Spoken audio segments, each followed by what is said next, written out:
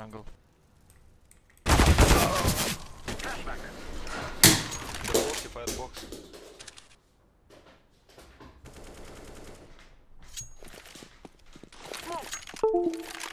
Кто посоветовал играть с этой мышки, пошел нахуй.